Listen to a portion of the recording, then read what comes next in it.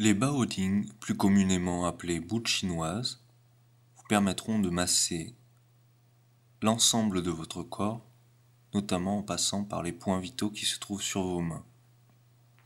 L'utilisation est relativement simple. On réalise avec les boules différents massages à travers des exercices plus ou moins complexes.